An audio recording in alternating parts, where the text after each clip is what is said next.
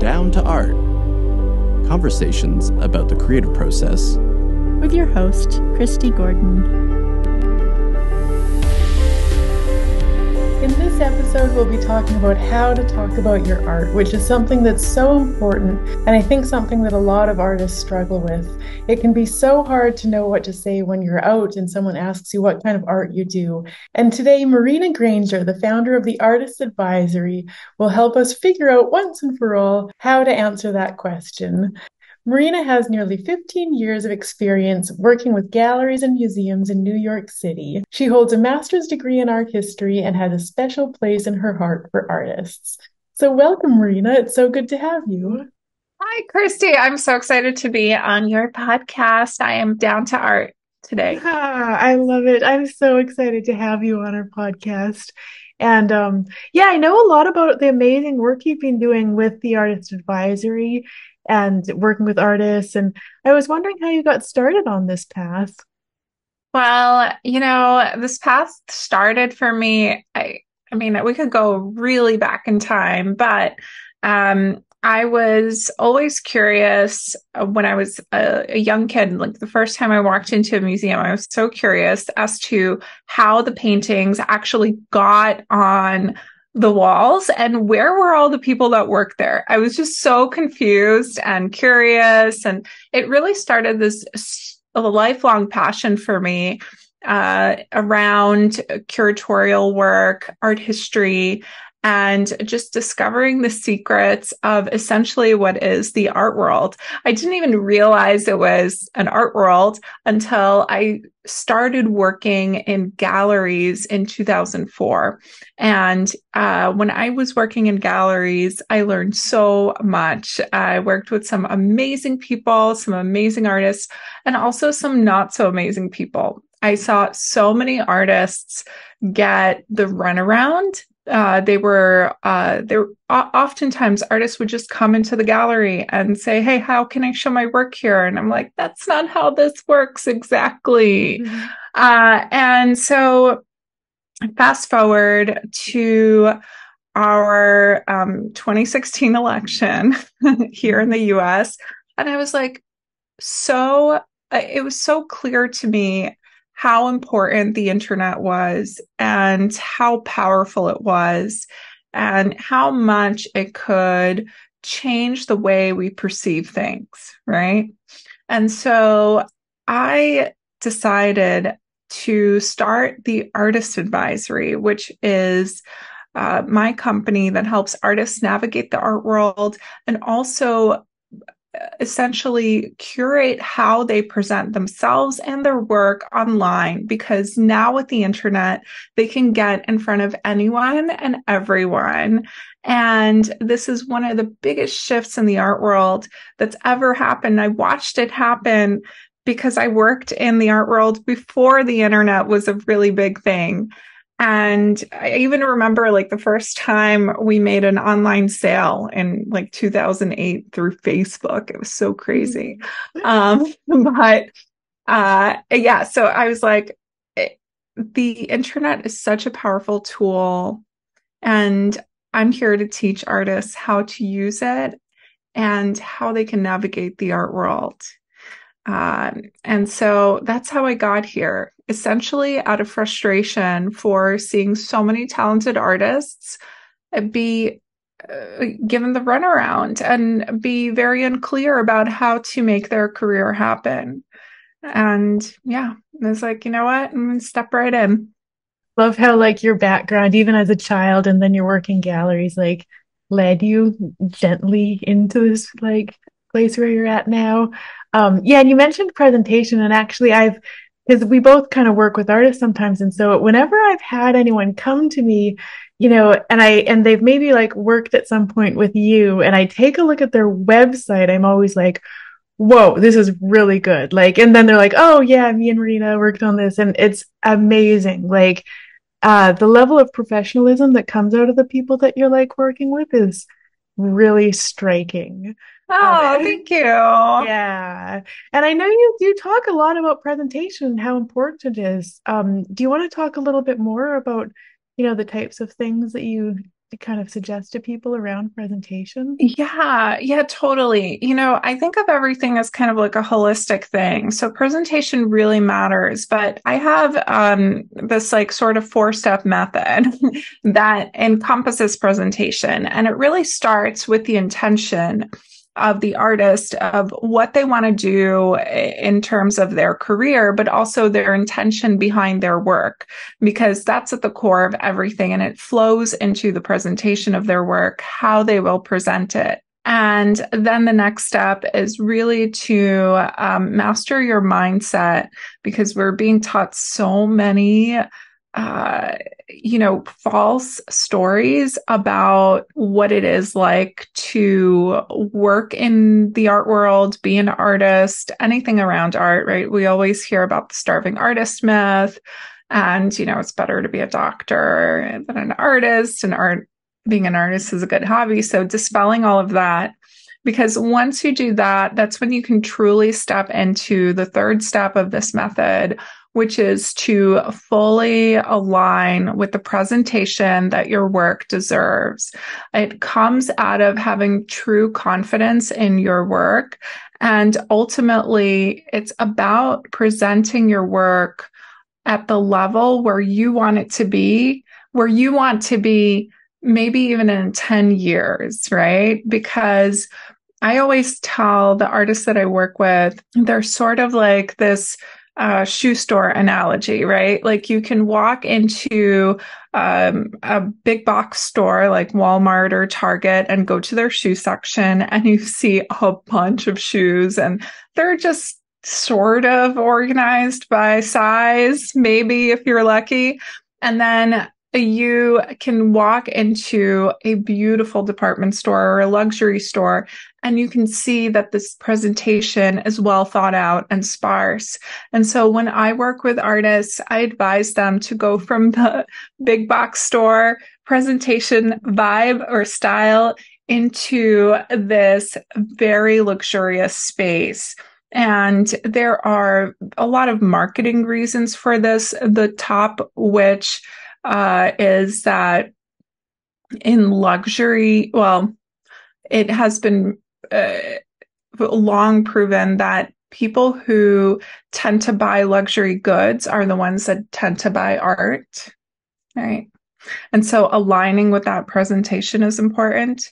But also, there's a reason that luxury goods are displayed that way. They're displayed to look like a work of art they're displayed to look precious. And that's what your artwork is. So that's what I do. Um, I teach you how to do this on your website, on your Instagram, how to talk about your work that way as well. And um, I think at the core of everything that I do, right, is the intention. And so when it comes to the fourth step of my method, which is taking action and whatever that means to you, whether it's applying to uh, places, uh, way that you're, where you're presenting your work and how and selling your work and all of these things. At the core of that is understanding why everything is happening, right? what are the galleries looking for? Why are they looking for these things? And then that goes into the presentation of the work. It goes into the actions that you're taking. And um, for example, let me tell you this. When I work with artists, I tell them that on their website, when we go to a portfolio page, it's important to see the work in a grid first. So little thumbnails in a grid. So it's very clear what the development of the work is, how they all look together. And it's super important not to crop the paintings. So if you have two dimensional work, it's important not to crop it in the thumbnail view so that we can see the orientation of everything. Because when curators or gallerists are looking at this, they have a specific, um, they might have a, a reason Uh, or a, a, an intention behind why they're looking. They might want a vertical painting or artwork, a horizontal one. They need to see the development in your work. So it's important that underneath all of these thumbnails, you have your um, a full description, meaning the title, the date, so they can see the development, the size, so they can visualize the size they're looking at it, and the medium, and also whether or not it's available. So if it's sold, you want to say private collection in that caption because they want to know what they can either buy or consign or sell. Right. Whoa. So it, there's a lot that it, this is once you learn why, what people are looking for and why, it becomes second nature how you present it. Oh, every time I talk to you, I learn something new. I'm going to add that to my website right away. Um, the, the whole available thing. And I like the way you do it too, like private collection or, you know, or if it's in some corporate collection, you know, not sold. I never like sold on my website just because I think it looks tacky, but private collection looks like totally classy. Super fancy. yeah, super totally, fancy. Totally. Mm-hmm. You know, but I gotta say, like, there are, if you're an artist who is selling directly to your uh, collector very often, then it might work for you to say sold because sure. it's it's more common to hear that for them. So you have to kind of take everything I say um, and and think about what I'm, I almost want to say, like, take it with a grain of salt. There's no, nothing's written in stone. I'm just giving you these ideas. Yeah, actually, it, it makes sense too, because I can tell, like, a lot of my galleries will write sold. So, what you're saying, it definitely does, like, work well for when you're directly selling to people. Um, and I know you put so much stress behind this why, like, why we do what we do, why like all of it, always asking why. And one of the big whys is with the elevator pitch, like why we make the type of work that we do. Do you want to talk about the elevator pitch? Oh my gosh. I just got this idea. Sorry. I'm like, um, I, I, my mind is everywhere all the time, but now I'm like, oh my gosh, I need to find one of those elevators that has the Barbie, that like see through elevators, has the Barbie box on the outside and take a video going up in it and uh, post it as a reel about an elevator pitch. So I'm, that's my next mission. So if you know where these elevators are, just please somebody tell me. okay. So the elevator pitch. So an elevator pitch is essentially a very quick way for you to describe what your work is so that whoever is listening understands it and remembers it at the core of who we are as humans is storytelling, right? We uh, either love to gossip or tell stories. and whether you're like Aesop with your fables, right? Or you're one of the housewives, you love to tell stories. So um, that is essentially the reason behind the elevator pitch, right? But how I developed it was I was working in galleries forever, but I was also doing art fairs. And when I was standing in a booth, like at Art Miami or whatever, or Frieze, and I was, uh, I had this artwork to sell. And sometimes people would come in, they wouldn't really know the artist. And so I had a very limited amount of time to introduce the artist to them and make it memorable right? Because once it becomes memorable, they can repeat that story to whoever they're at the art fair with, to their spouse, and say, Hey, there's this really cool story about this artwork. Let's go look at it. And then they buy it. That's the ideal, right? Um, and so here is the formula for it. It sounds really simple. It might feel insurmountable at first because you're thinking, wait, this is too simple. I don't think I got it right, but here it is. Let's give it a whirl. First pit, uh, first part is to say why you do what you do. Second part is to say how your perspective informs your work. And the third part is to say what you actually do. So if your process is important or, you know, if there if your artwork's not in front of these people, you can tell them what you do. So this is the difference between saying I'm a realist painter and and um something like uh you know, I am um, I love to paint the cosmos, uh, or ah, I failed my elevator pitch. It's okay. I'm re- we stumble on it. I'm like, I'm really interested in how finite we are, how tiny we are in comparison to the universe. As a matter of fact, I studied astronomy at the graduate level before I decided to become an artist. And so now I make these large scale oil paintings of uh, various nebulas to explore our um, size in relation to the universe, right? Like, I don't know. I just came up with this off the top of my head. I don't oh, really. good.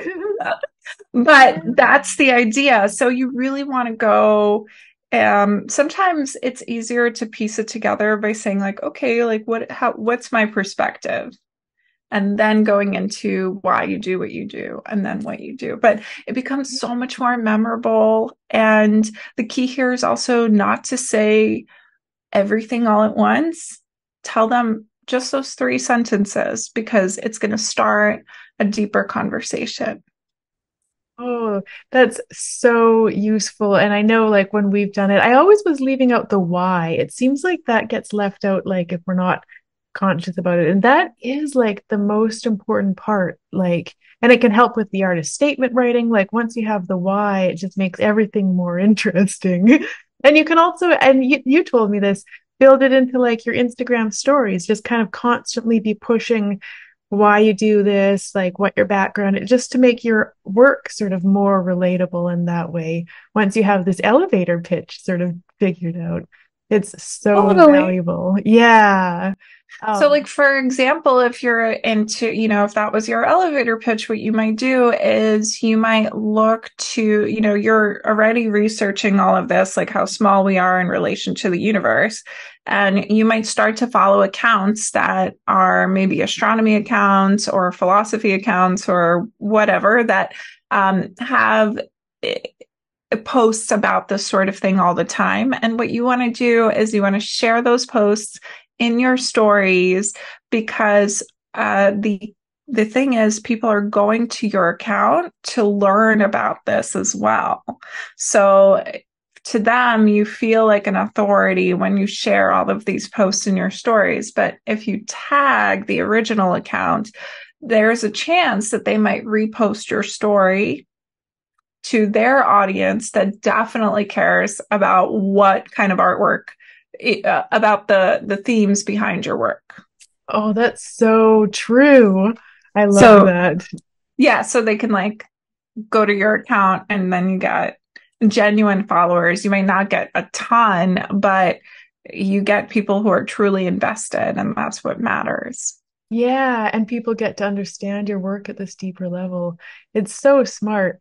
Oh, I just love all of the things that you like bring to the table. Um, and you have the artist advisory, of course, and you're starting a new system with it. And do you want to tell us a little bit about about that?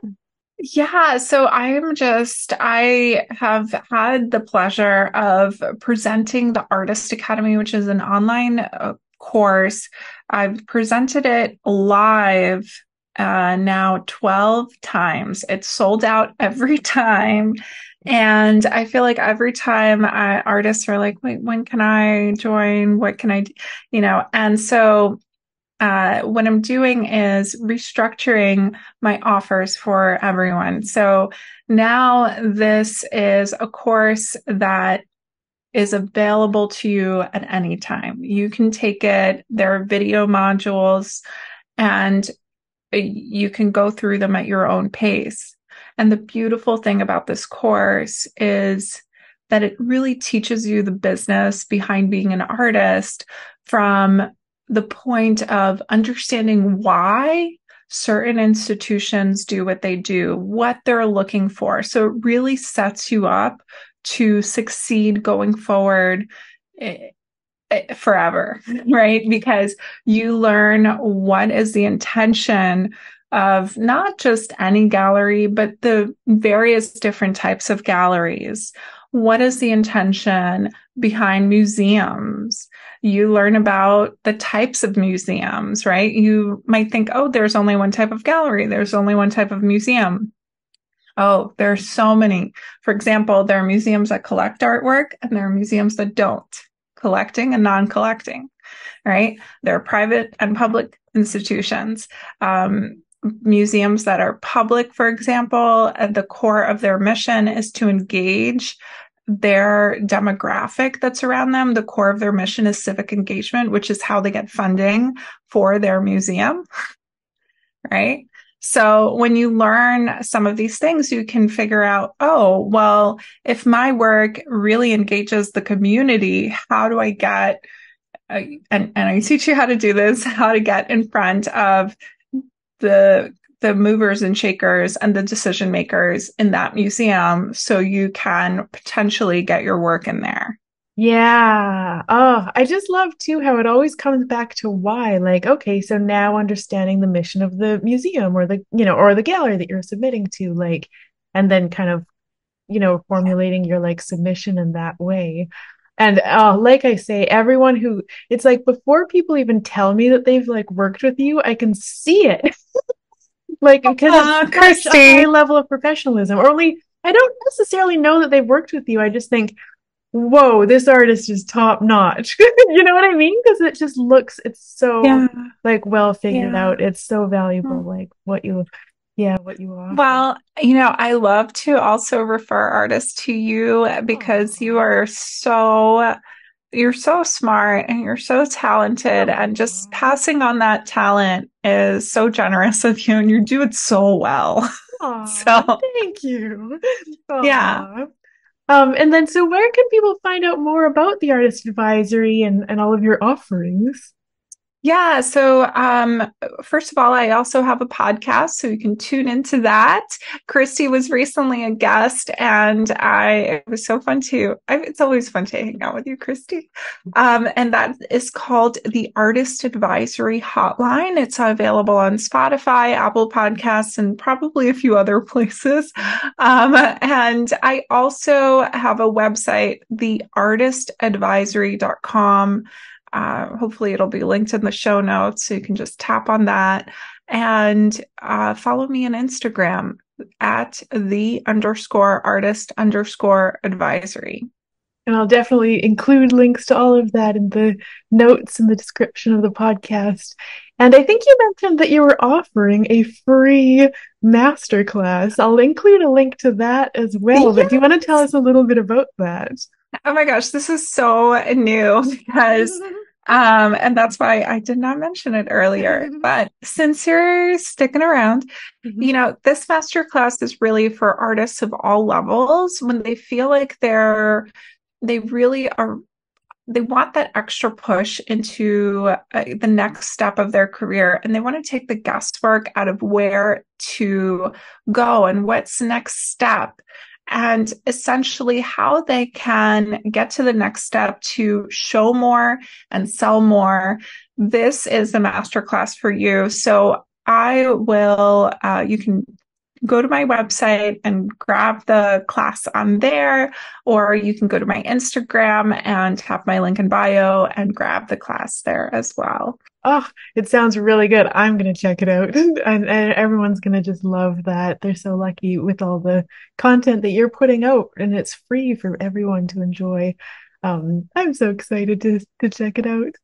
Um, yeah. Oh, well, it's been so good talking to you. I just, I learn something every single time I talk and every time I see like artists who've worked with you, I can tell that they have because it just looks so good. So you just do so much for all of the artists in our community. And thank you so much for joining us today.